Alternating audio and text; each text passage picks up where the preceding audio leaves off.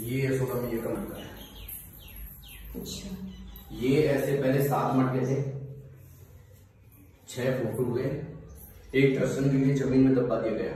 मैं यहाँ का पुजारी हूँ नंदा बाबा मंदिर का भी पुजारी हूँ। ये दर्शन करने के लिए ज़मीन में दबाया है। इसकी साढ़े छह फुट की गहराई है। आज भी जून के महीने में कोई लोग आए। आज भी अब के जून के महीने में भी चेक किया ये मटका। गर्म रोटी बैठ के बनाई है यहाँ पे।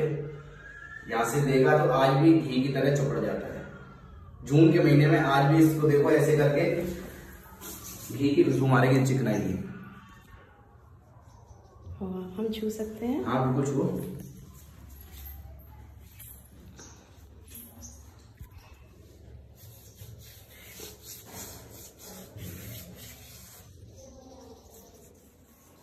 अब जून के महीने में अभी देखो यहाँ पर कहीं भी तुमने देखा होगा बच्चे खेलते हुए नहीं मिलेंगे कहीं भी।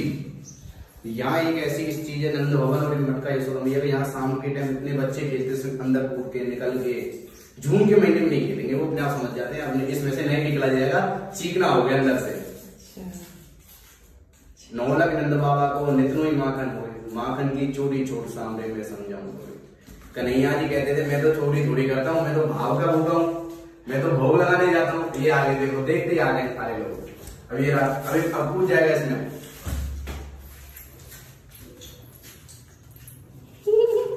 अब ऐसे पूछ जाएगा अपने आप। और दिल्ली का लोग होगा कोई भी वो इसमें देखेगा भी नहीं कि अंदर जाऊँगा नहीं जाऊँगा।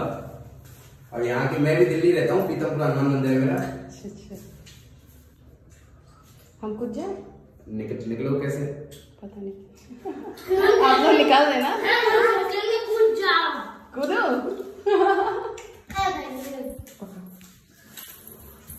जय यशोदा मैया की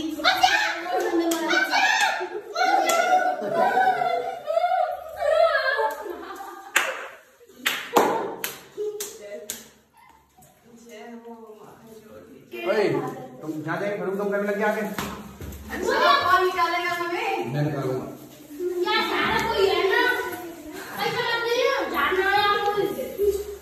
मोटी हो कैसे जैसे रोज आने वाला पर्यटन यहाँ नहीं आता। अच्छा। यहाँ वो ही आते हैं जिनको पता है और जिनने सुना है इनके बारे में। मैं आई थी चौरासी कोस की यात्रा। चौरासी कोस की जो यात्रा। चौरासी कोस की यात्रा आती है जो घर से संकल्प लेके निकलते हैं कि ब्रज यात्रा के लिए तो वो यहाँ आते हैं। चौरासी कोस की यात्रा अभी चलेगी। जब यहाँ पे पैर रखने के लिए भी जगह नहीं होगी। हाँ इतनी भीड़ हो जाएगी उस टाइम हाँ, मैं तो अंदर ही कूद क्या तो इसलिए कब ये प्राचीन धरोहर बची हुई है? परिक्रमा करो। और अपने हाथ से दान दक्षिणा चढ़ानी है। गौशाला हाँ हाउ बुलाओ वहाँ पे।